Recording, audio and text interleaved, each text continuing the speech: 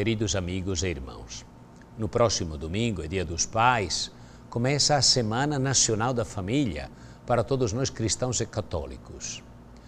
O Dom João Carlos Petrini, que é presidente da Comissão Episcopal Pastoral para a Vida e a Família da Conferência Nacional dos Bispos do Brasil, enviou uma mensagem bonita sobre a situação da defesa da vida aqui no nosso Brasil.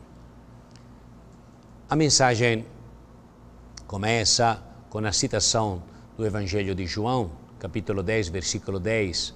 Eu vim para que tenham vida e a tenham em abundância. Diz assim o Dom João Petrini, durante a última Assembleia Geral da CNBB, comentando a decisão do Supremo Tribunal Federal relativa à legitimidade do aborto de crianças portadoras de anencefalia, foi decidido que a Comissão Episcopal Pastoral para a Vida e a Família iria elaborar com a participação do Conselho Episcopal Pastoral da CNBB, uma proposta para responder aos desafios que estavam evidenciando-se naquela circunstância. Na realidade, no cenário da sociedade e da cultura atuais, apresentam-se diversas formas de desrespeito e agressão à vida humana que clamam ao céu e que exigem dos pastores e fiéis das comunidades católicas uma resposta orgânica, sistemática e positiva. De fato, não é suficiente apenas evitar a aprovação de leis contrárias à vida e repetir normas que proíbem ações contrárias. Mesmo sem essas leis, a vida humana é cotidianamente ferida. Por outro lado, nossa tarefa de cristãos é valorizar o respeito, a promoção e a defesa da vida, quer com uma legislação favorável, quer contrária.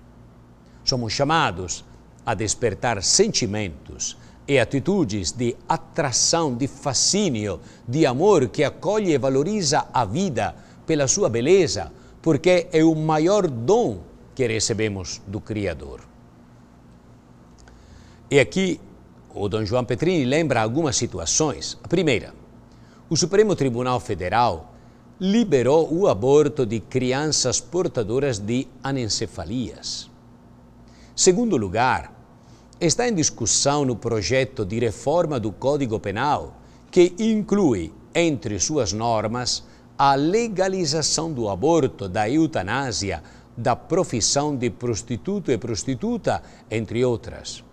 Terceiro, o Ministério da Saúde está elaborando um modo de diminuir os danos, dizem eles, à saúde da mulher, os danos provocados por abortos clandestinos, legitimando e amparando depois, de fato, a realização do aborto, mesmo que a lei o considere crime. Quarto, a fecundação artificial, chamada de assistida, dá origem a uma nova vida em situação indigna de um ser humano.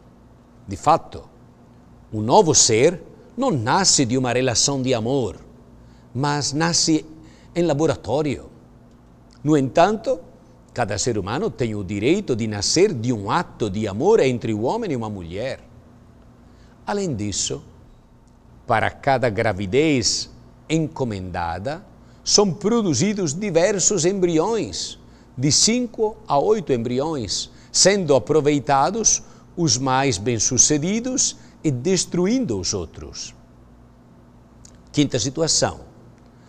Centenas de adolescentes e de jovens, toda semana, perdem a vida por causa das guerras que se travam ao redor das drogas. Sexta situação. São alarmantes as situações de violência que afetam crianças, idosos, mulheres e agora também homens em ambientes domésticos. A lista poderia estender-se ainda muito mais. O que está acontecendo com a nossa sociedade? Muitos pensam Alguns ainda pensam que a sociedade moderna não precisa de religião, que as novas gerações poderiam realizar-se e conseguir sucesso e bem-estar mais agilmente, ignorando a luz de Cristo e a sabedoria do Evangelho, ignorando também o ideal da vida fraterna e da caridade, que respeita e acolhe o outro. Foi desvalorizado o entendimento segundo o qual a vida encontra realização e felicidade, fazendo o dom sincero de si para o bem e a felicidade dos outros, até com o sacrifício próprio na família, na vida consagrada, na profissão, na política. Prevalece agora o privilégio dado ao próprio bem-estar, mesmo com sacrifício dos outros. O aborto de um filho com anencefalia vai nesta direção a vida humana é avaliada pela sua utilidade, sendo descartada quando exige dedicação de tempo e de dinheiro, considerada mais uma mercadoria do que algo sagrado. A postura que a Igreja muitas vezes usou de proibir certas práticas ou condenar certas atitudes não tem o efeito esperado. Pelo contrário, parece que suscita irritação e distanciamento. É necessário empreender uma grande educação popular no horizonte da nova evangelização, de modo que cada leigo engajado possa discernir as propostas e as situações que contradizem o Evangelho e o verdadeiro bem do ser humano, e seja capaz de dar as razões pelas quais rejeita certas opções e se decide por outras.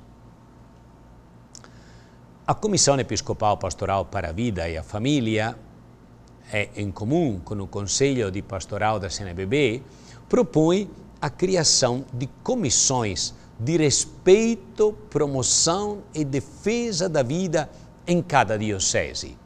E sempre que possível, em cada paróquia organizadas pela Igreja, com a finalidade de compreender as formas de agressão e desrespeito à vida que acontecem aqui no nosso país, na diocese, na paróquia. Dar visibilidade a esses problemas na imprensa local, nas rádios comunitárias ou através da elaboração de uma específica publicação procurar evidenciar as razões para defender e promover a vida que possam ser aceitas, inclusive por parte de quem se declara sem religião, na base da razão natural que compreende a dignidade da vida e reconhece os direitos universais. Outra atividade é oferecer às próprias comunidades uma forma enraizada na palavra de Deus e na doutrina social da Igreja, de maneira que cada um se torne um militante da defesa e da promoção da vida. É necessário também promover debates públicos, bem como nos meios de comunicação que são acessíveis para poder criar esta mentalidade. Precisamos estabelecer, diz esta Comissão para a Vida e a Família, parcerias com escolas públicas e privadas, elaborando textos, vídeos, outros meios didáticos que visem a formação das crianças e dos adolescentes. Precisamos promover concursos de desenho, de redação e outros, tendo como tema a defesa e a promoção da vida, especialmente por ocasião da Semana Nacional da Vida.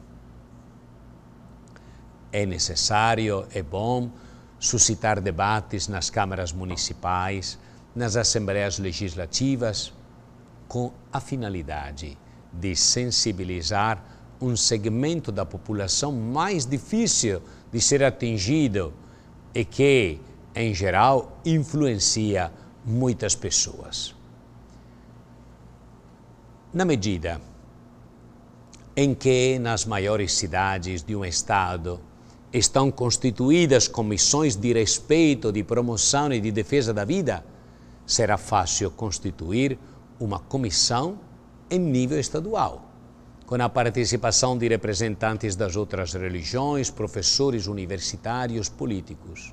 Precisamos defender a vida humana não somente contra as tentativas de ampliar a legitimidade do aborto, mas de promover a vida humana em todas as situações nas quais ela é ofendida e é ferida a sua, na sua dignidade inviolável. Basta lembrar as situações de trabalho escravo, de miséria extrema e fome, de abandono de crianças e, ou de idosos, de tráfico de pessoas, de abuso de menores. Trabalho não falta. Defender a vida tem que ser uma prioridade para nós que somos o povo que acredita no Senhor da vida. Vamos nos preparar bem para a Semana da Família, que tem também como objetivo a família que assume e que acolhe a vida, que defende e faz desenvolver a vida. Que Deus abençoe a todos. Em nome do Pai, e do Filho, e do Espírito Santo. Amém.